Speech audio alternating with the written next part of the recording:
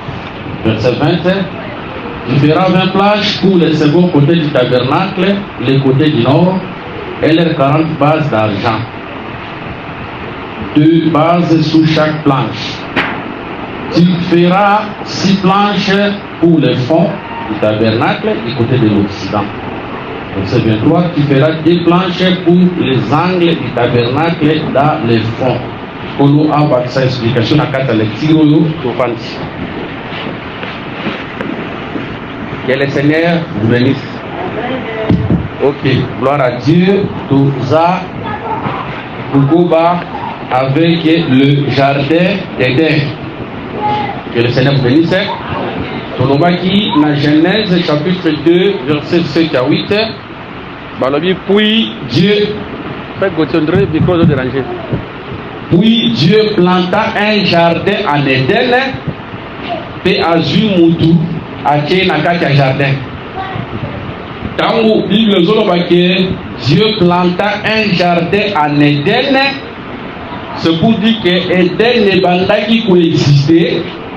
mais na kati ya edene eloko ezalaki nano te il faut sikoyo nzambe atya jardin moko na kati ya edene akamata sikoyo mutu oyo ye aformaki atya ye na kati ya jardin nde tokendaki kotalisa ke soki moto akoti na kati ya edene eza na nzela ya jardin donc adam pouvait chanter à son temps merci jardin eza grâce na yo nde ngai nazwi ngolu yokota na edene soki yo jardin te nde ngai adam Nalingi nazwa nzela ya kokota na kati ya Edene te. Parce que la Bible dit que Dieu planta un jardin en Edene. Soki atie jardin na kati ya Edene, azwi motu oyo afulumaki ye atie na kati ya jardin. Lokola jardin eza na kati ya Edene, eke moto akoti na kati ya jardin, soki moto akoti na kati ya Edene, kuna bakola biso c'est pour dire que edene eh, nde eh, jardin ezopesa motu accès ya kokota na kati ya edene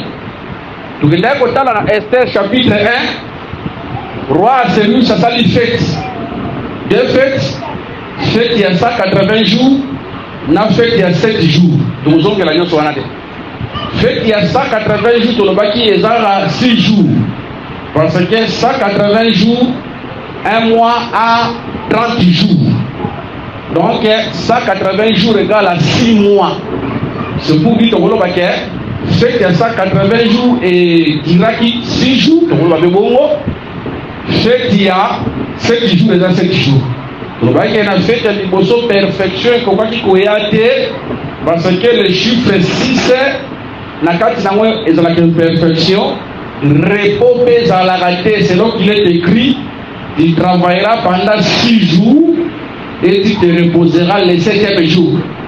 Fete ya mibale ya septième jour nde oyo ezomema repos mais na fete ya mibale ya septième jour nde nzambe akofungola eh, roi akofungola oyo eza pale enfin ke peuple baya kofete mais banda kofete na kati ya jardin ya roi roi aza na palais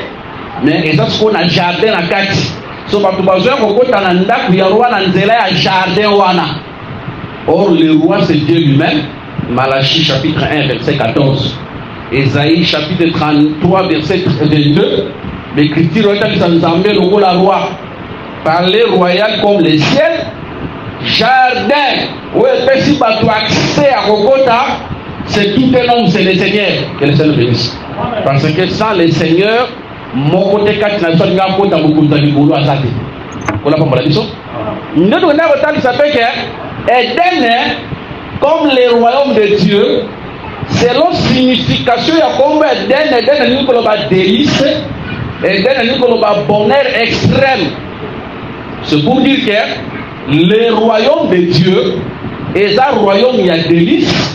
le royaume de dieu eza royaume oyo eza na bonheur moko extrême yango ntango tokokende na ezekiel chapitre 28 verset 13 à 14 la bible dit bazoloba pourquoi lucifer bien ke bande mosusu balobaka eza jésus mais so tolobi ke eza lucifer eza eza eza yesu te eza satan mpona bambola biso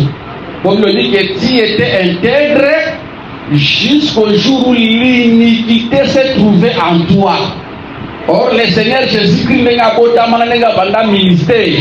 na ndenge asilisa ministère tomoni iniquité na kati na ye te kolapambola biso nde toloba ke chérubin protecteur wana ezalaka diable ezalaka jésus te kolobaki eza jésus eza koinsulte nzambe tobenga nzambe motu na iniquité kolapambola biso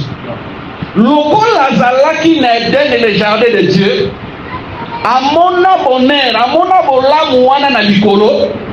akiti na se nde akosala nyonso lelo afin que adetourne misu ya peuple na royaume de cieux mpo na makambo ya mabele yango tolobaki boye lelo na monde les grands ingénieurs baarchitecte ya makasi eza ba occultiste okoremake soki exemple na dubai nde tolobaki bazotonga baconstruction kitoko soki na shanghai tala ndenge etongani ba new yorkais ba washington toutes ces grandes villes batongi yango kitoko l'objectif du diable eza ke alakisa motu bote ya mabele pour detourner hein, l'intelligence de l'homme vers le royaume de Dieu. Maintenant, tant que nous avons bisengo ya mabele, azobosana ke eza na bisengo moko oyo eleki bisengo ya mabele na monene mais le problème ya diable eza ke mutu asepela na makambo amoni na mabele mpo na nini mpo na lokonzi ya likolo akipe yango te mpona bomona biso me biso toyebi tout ce que nous voyons sur la terre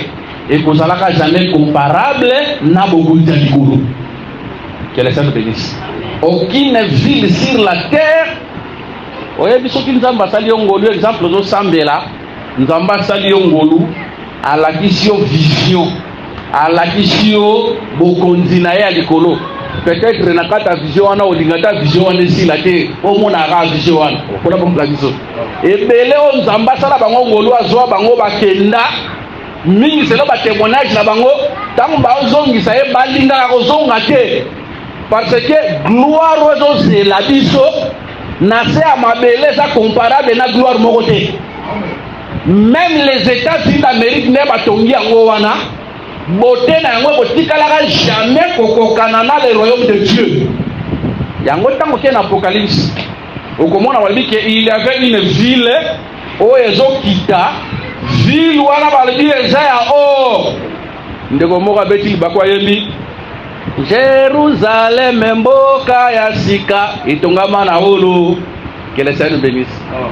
notre sœur akanisaki ke or wana eza mpenza or ya or oyo biso topesaka boye te attention apocalypse c'est une édition ville wana ntango bazoloba eza ya or elingi koloba te ke eza or ya or boye kolobela o o reparlaka sur la gloire parce que soki nazwi daniel chapitre 2 ntango daniel azo explike ndoto azoyebisa roi bo o roi ti regarde obandaki eh, abandi koloba nde boye o roi le seigneur t'a donné l'autorité le pouvoir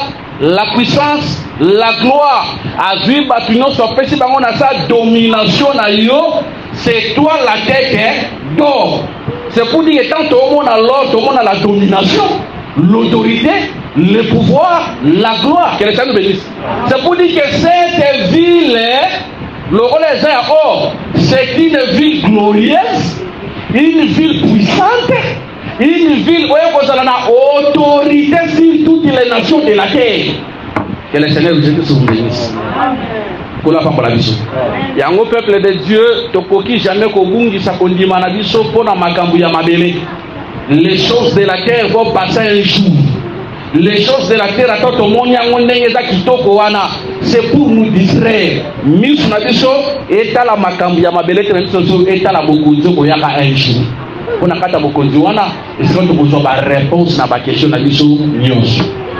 maintenant jardin oyo nzambe azotya na kati ya eden oyo azopesa motu accès akota na kati ya eden na kati ya jardin wana balobi ezalaki na banzete oyo tolobaki ke eza na aspect oyo jardin wana ekoki kozala expliquer comme ensemble locale eza na aspect oyo ensemble wana eh, jardin wana ekoki kozala expliquer comme le corps du christ mais totambola na aspect wana te tolingi kotambola nana koexplike jardin oyo epesi biso accès ya kokota na kati ya edene nanu comme jésus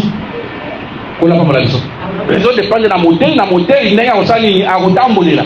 Kola pambola biso. Donc c'est pour dire que soki tozwi accès lelo ya kokota na Eden,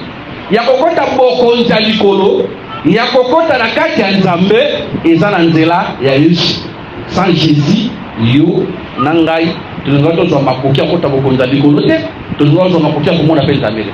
Maintenant la Bible dit que jardin wana na kati nango eza na banzete nde tobandaki kotalisa ke tozopesa des écritures première écriture jérémie chapitre 11 verset 19 jérémie alobi boye nazalaki comme un agneau familier oyo bazomema na boucherie nabandaki koyeba badessin na bango ya mabe te yoka jérémie abakisi détruisons l'arbre un sauf fruit awa jérémie Aza ko se comparer na nzete. Donc to comprendre que un prophète c'est un arbre fruit na ye nde liteya na ye. Yesu aye a répéter yango na Matthieu chapitre 7 je crois verset 15. Abi que bokoyeba mosakoli, bokoyeba nzete na nzete na nzela nini ya mbuma na yango. Ntango le Seigneur azoloba bongo, il parlait sur les faux prophètes. mais ce qui nous intéresse eza ke nzete elobelaka mpe likolo ya mozakoli kelesani benise yango toyebi ntango ozomona na edene banzete eza na kati ya edene tokendaki kotalisa ke jésus quand il était venu sur la terre basakoli nyonso baza na kati na ye eza na mosakoli moko te oyo aza libanda ya yesu abraham ntango baobenga abraham source abraham wana source ezalaki nango ya ombre abraham aza source ya solo te source ya solo ezalaka lesende ya jésus christ mai ntango nakoya na esaïe chapitre 51 yoka makambo nzambe azoloba vous qui poursuivez la justice portez les regards vers votre père qui abraham Akiti alobi lui se gele apele e gele multiplier akiti na sala bi porter le regard vers le rocher awa moto azobenga abraham rocher eza motu te ka nzambe ye boku donc to porter le regard vers abraham akiti na se abengi ye roger siko nde tosangana na pokwa lelo boye abraham oyo biso tokoporte miso epai na ye eza abraham wa mesopotamie eza abraham oyo ya papa isaac mobali ya sara te nous ce soir abraham tozoporte regard epa na ye ezalaka nde kriste parce que na 1 corinthe chapitre 10 verset 4 frère paul azoloba ke israel bandaki komela na un rocher qui le suivait et ce rocher là c'était christ donc tocomprendre ke moto esengeli topote regard epai ne na pokwa lelo eza abraham wa mesopotamie te mais c'est le seigneur jésus christ ye nde oyo nzambe abenga na eternité aye na mabele ye nde nzambe apambola ye amultiplie ye komultiplie akoma ebele biso nyonso toza bafrui na ye ekola pambola biso donc tolobi ke tous les prophètes Baza expliquer na kati ya Jesus Christ. Ata ozwi profete Nathan, ata eh, Zakari, ata Jean Baptiste, bango nyonso baza na kati ya Yesu Kristo. Nkolo apambola biso. Mpo Nathan, nazwa nano exemple ya Nathan. Nathan ntango David asali mabe, David na conscience na ye Atikalaki koyeba te ke asali mabe na ntango ya ba David. Akopesa David lisese, o oh, roi, eza na mutu moko na kati ya ville na yo asalaki boye, asalaki boye, asalaki boye. Wana Nata alobi, roi asalaki nini? Asiliki. Eloko Nata alobaki ebandaka concerne nani? Roi. Mais façon Nata alobelelaki yango, roi comprenaki te. mais ntango nata afungoli monoko pour la deuxième fois abi roi mutu wana eza nani yo david alelaki asengaki nzambe pardon kona komona biso david lokola roi il représente aussi adam parce que ada na eden ntango bapesa autorité na pouvoir moto bapesaka autorité na pouvoir ezalaka nde mokonzi sepudiki ada azalaka mpe roi na eden yeleselelo beti mais après ntango omoni ah, david azozwa mwasi ya bato mpe abomi cela veut dire david avait transgressé la loi de dieu parce que mobeko elobaki okosala adultère te mobeko elobaki okoboma te ntango asali adultère ntango abomi cela veut dire il avait transgressé la loi de Dieu okona komona biso c'est ce que Adam avait fait en Eden lia nyonso mekaka l'arbre du fruit de la connaissance du bien et du mal kosala nini mais ntango aliaki yango cela veut dire il avait transgressé la loi de Dieu okona komona biso mais nata ntango aye mbala liboso nata alobi na parabole roi comprendre te Mais tango nata koloba mbala mibala pesa explication roi comprendre abandi olela tocomprendre ke nata ya solo ezalaka yesu oyo ntango ayaki na 3 ans et demi na ye lui parle en parabole david akomprenaki te david wana eza yo na nga le peuple quand le seigneur prêche a parabole moto abongo na motema azala te mais ntango azwa le deuxième fois na pentecote akoloba lisusu na parabole te il donne l'explication claire ntango bato bakoyoka mitema eza frappe balobi homme oh, frère que ferons nous cela veut dire quand il donne l'explication ya parabole il faut que repentance ekota na kati ya peuple que la salle bénisse voilà pourquoi un ministre ne peut pas passer sur la chair abanda kolobela so na baparabole te eya so ntango ya baparabole te parabole ezalaki na nse na liasi moto abongolaka motema te Aujourd'hui, c'est le temps de l'explication des paraboles. Quand on dit Maramalo Banzan, on banda Genèse, Malachi, tout au Baxi, Jean, Marc, Luc, dans Matthieu, Nyoso, et ça pas parabole. C'est le jour du Saint-Esprit que l'explication était venue. Voilà pourquoi un ministre doit expliquer les peuples de Dieu, la pensée de Dieu, mpo na objectif na yango emema mutu na repentance mutu azonga epai ya nzambe que le seigneur bénisse mais mais na remarqué tokendaki kotalisa ke soki otali tabernacle na kati ya tabernacle ezalaki na baplanche planche na nzete ezaka eloko moko mpo na bambola biso soki otali na ecriture totangi balobi na midi batiaki 20 planche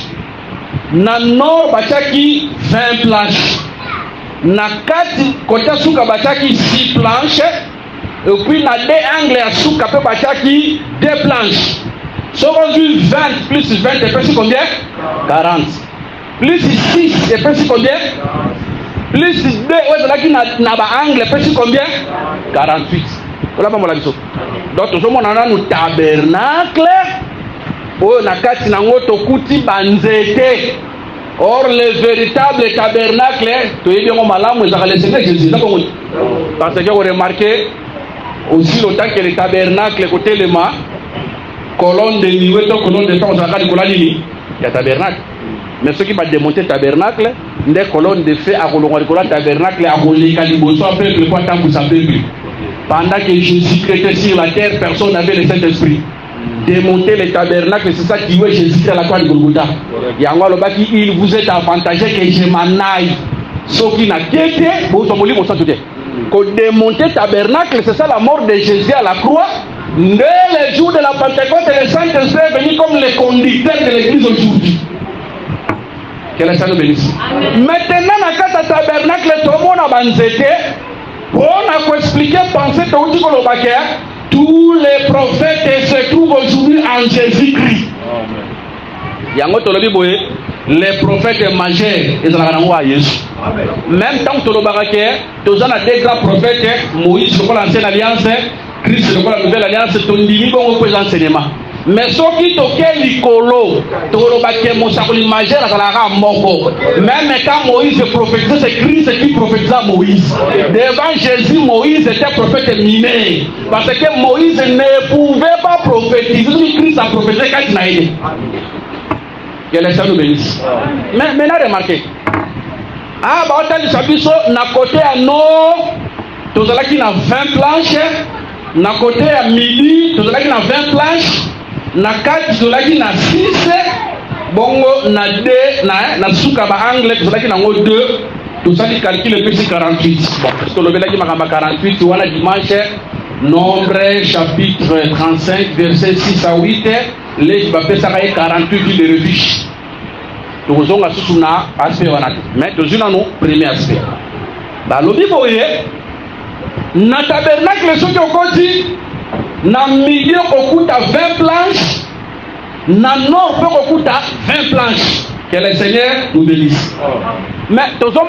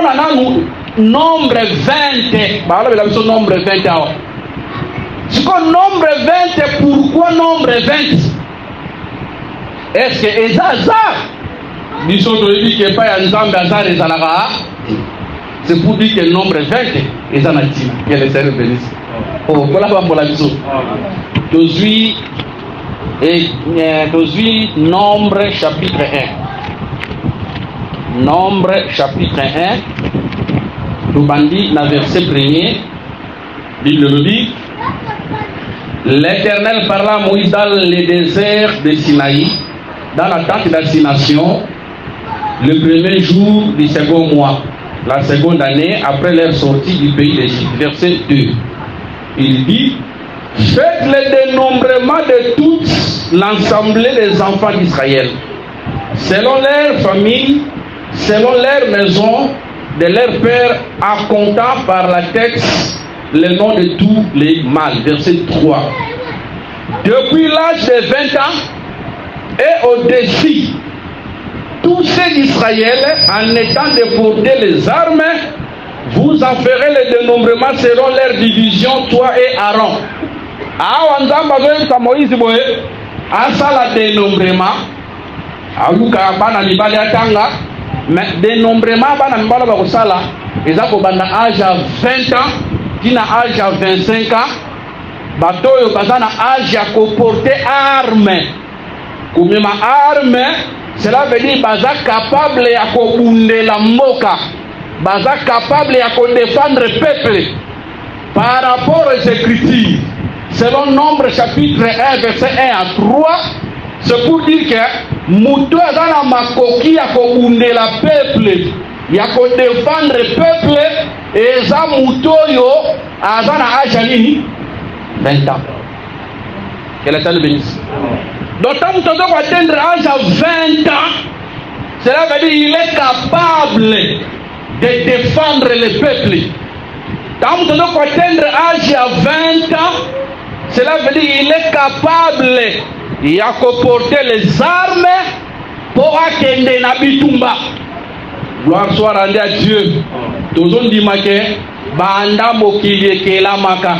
ancienne alliance mobimba atomoni baponaka bana mibali ya age ya 20 ans bakende bitumba tozondimaka ezalaka makambo ya solo te ezalaka nde bisakoli parce que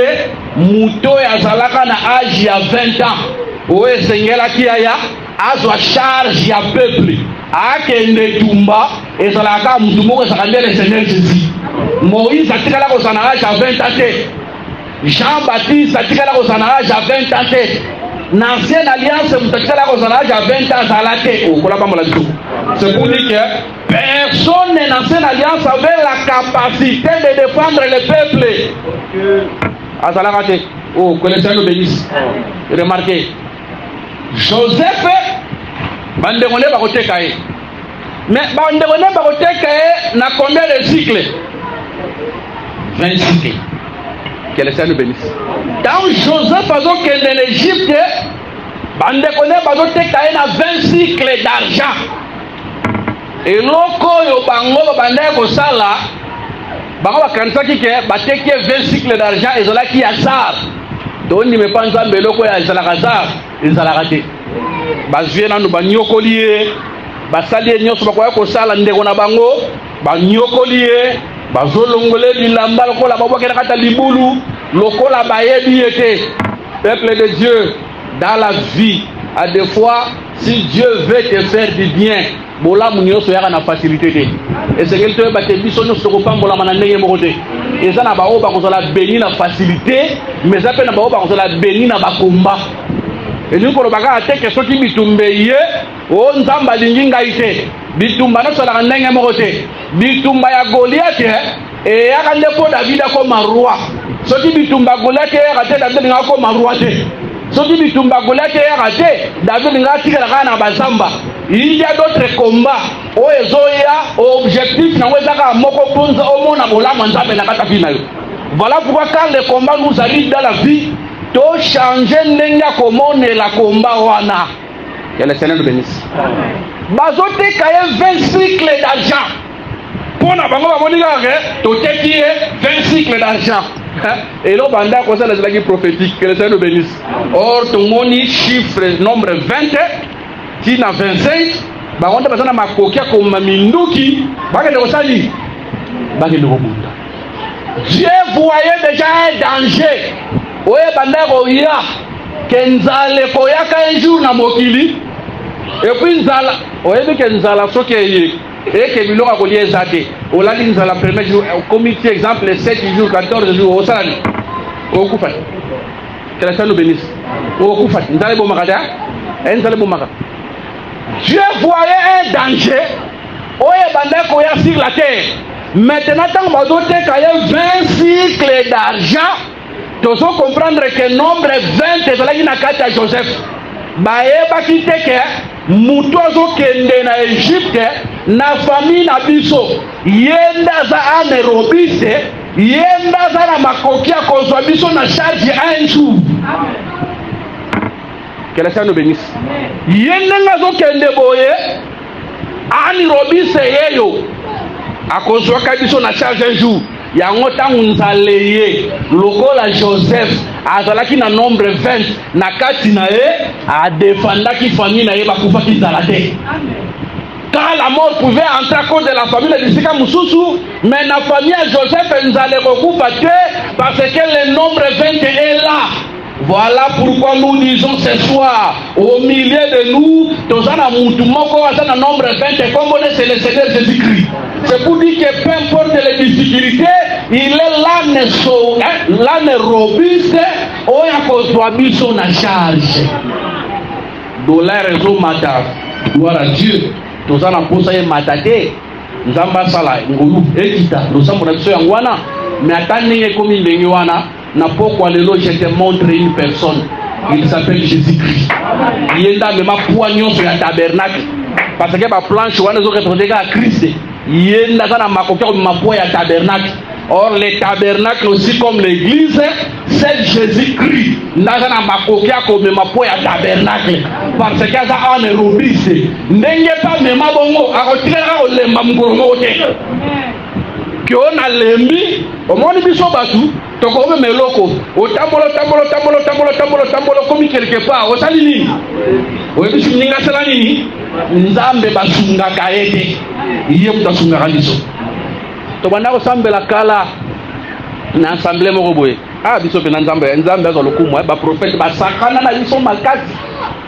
ba prophète ya ba don jour moko na nuit de prêtre osambela prophète amati na vision eh, na, na prophetie aosakola mokambi tosalaka na ye azoyebisa exemple papi papi papi sungelanga fils sungelanga mwana office nga nzambe nalembi ye oh, mais wana prophetie je vous dis la vérité botuna ndeko jima ayebisa bino okolaka mbola biso papi sungelela nga mwana oyo nga nzambe nalembi ye ah! nzambe alembi mutu so akamata responsabilité na ye apesa pa mutu eza abomination wana biso toyebi na makambo nzambe te tokangi miso bi nzambe asoloba nzoka aza nango nzambe te ye moko nde moto aloba biloko na yo Oh, que le Seigneur nous bénisse. Jésus-Christ que nous prions ce soir Yende aza anaerobiste, aza na makoki ya komema mikumba mpe aza na makoki ya kodefendre biso devant toutes les difficultés.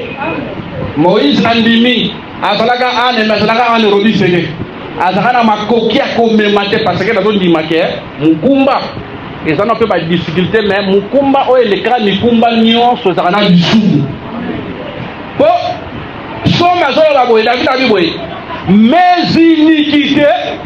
ezopeze likolo na ngai lokola un lourd fardeau. Tokomprendre ke lisumu ezalaka mpe charge mobimba, mais na ancienne alliance moto azalaka na makoki omema lisumu azalaki te. Sele le Seigneur Jésus-Christ ntango aye ndazina makoki omema lisumu na biso oyo ezala na mokumba oyo eleki mikumba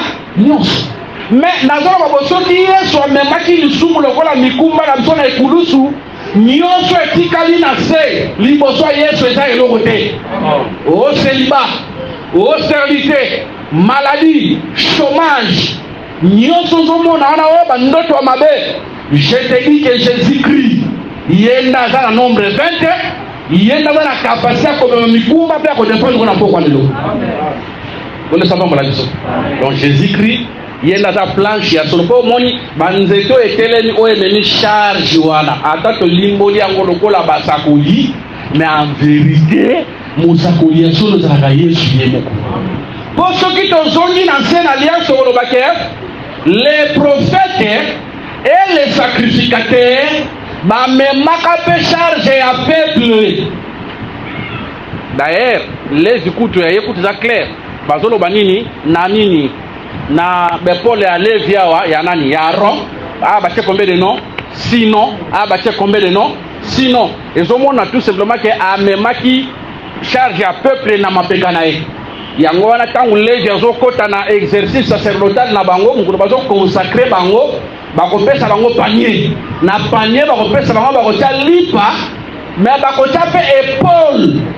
lipeka ya nyama kuna bambola biso mpo na koloba ke bango nde bazomema mpe charge ya peuple yango tozondima ke lelo un ministre de l'évangile ye mpe nde esengeli amema mpe charge ya peuple okuna bambola biso tondima ke nzambe azomema charge ya peuple lelo na nzela mpe ya baministre na ye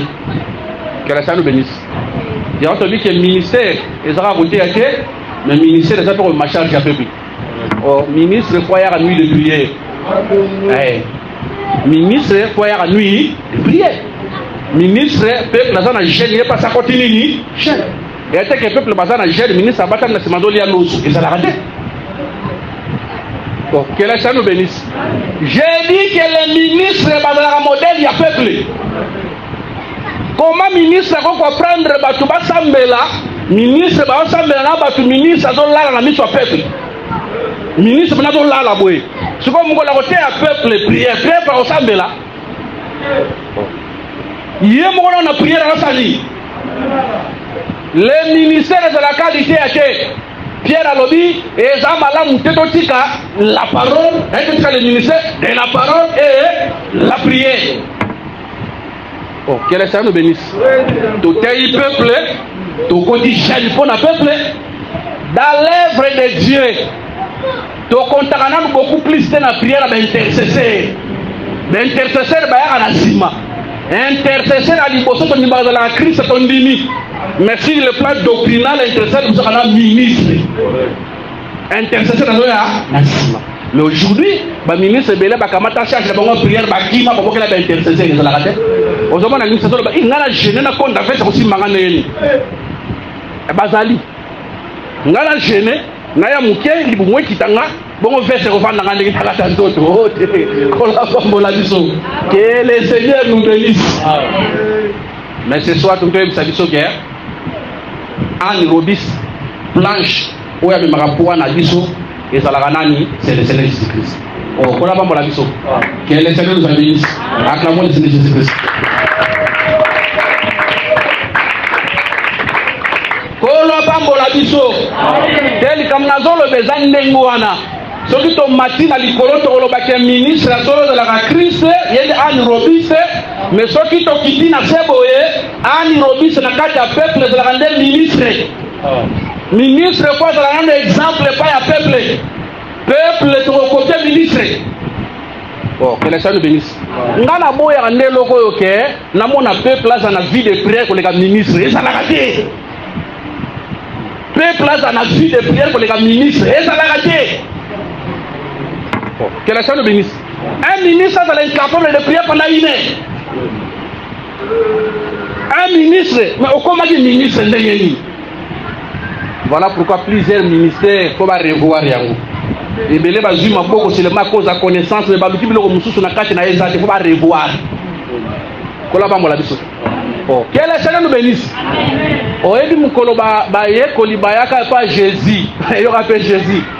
bino moko bosani bopesa bango biloko ya nini solution ya peuple koya na zela ministère que le seigneur nous bénisse oh que le seigneur nous bénisse que le seigneur nous bénisse gloire à dieu mais nakoremarke su nakosika su mpo na kotalisa boye okoremarke apart 20 wana totalisi lokola responsabilité na dépense okoremarke ezalaki mpe na si planche oyo ezalaki na katikati wana kola pambola biso otanamona lesi planche daye tolobaki deja ke 48 planches oyo égale 48 villes de refuge bapesaka balevite c'est pour dire que le tabernacle azalaka levi mobimba yango ntango toomona les six planches ntango tokokende komona le 48 ville bapesaka balevite tokomona six ville de refuge na kati parmi les 48 ville bapesa balevite oremarke il y avait six ville de refuge kuna na kati C'est pour dire tout simplement na pokwa lelo que la véritable ville de refuge c'est le Seigneur Jésus-Christ. Amen. Hein? Kanda Nzambe toki mango esika mususu toki mona kata Yesu. Libanda ya Yesu c'est la colère. Mais en Jésus-Christ c'est la grâce.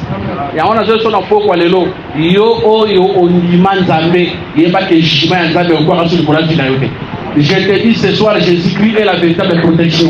Je te dis ce soir que Jésus-Christ est la véritable vie de refuge. Moto abombaka lokola Yesu aza te. Mobongi malamu ezalaka nde Yesu. J'aime Jésus car il est écrit, c'est que détient la main de l'éternel, personne ne peut le ravir. Kobanga ndoto ya mabe te. ata ndoto ya mabe eye lokola oza na kati ya yesu oza na kati ya protection mabe eza ndenge obima libanda ya yesu me lokola oza na kati ya yesu tiyeda na protection okolama mola biso je nous dis ce soir moto abatelaka lokola yesu aza te kelesano benisi naza na tante nakamata mai tala bato nde bakosa bato moto azwi kanti na mai atie liboso ya porte na ye kroyake soki ndoki ya ye akokoka kosote kanti na mai wana te wana eza bavantire ndoki azolongwa awa aketi na france aleki baocean aleki bafleuve ake abomi motu na france bongo tomoka kanti na mai oyo moto atie liboso ya porte na ye ne ndoki akoleka te distraction bamama baoteka bakamati pilipili batie na esika basala nini batekaka kuranke soki ndoki aye aosala nini ese ndoki eliaka pilipili te ce soir celui qui protège c'est jésus christ ye nde aza véritable vie de refuge ata maladie eye soki oza kata yesu ekoboma yo te ata batyeli yo mitambo soki oza kata yesu ekoboma yo te ata abwakeli yo mbasi soki oza kata yesu ekoboma yo te bandeko ndenge toteleli boye nga na yo soki yesu te mbele tozalaka lisusu te soki yesu te nde tosi tokufa kala eza na bolo kati oso bakota na koma me akoza jésus babima na koma eza na bolo bakota na hopito doktere eloki malade azomona te me babika me doktere ayebaka mpe ndenge babika te Parce qu'ils sont dans la vie de refuge. Que le Seigneur bénisse. Jésus-Christ est la véritable vie de refuge. oyebi bafarisien bakangi mwasi moko na diltere balobi na ye eh, nde bazalaki babi ke mwasi oyo mpo na biso esali nini moïse alobaki osala nini baye na ye mpa jésus me bazoyeba te ke kote bazokende na ye akokufa lisusu te mpo bakende na vie de refuge soki bayebaka kutu mbele bango bango bamibomelaki ye deja kuna parceke soki deja bosi boye na moto epai ya jésus lokola aza ville de refuge mabanga na bino etombamaki akosala nini ye ese mwasi wana akufaka quand on entre dans la ville de refuge ne peut plus mourir je te dis ce soir que la colère des hommes n'est pas plus grande que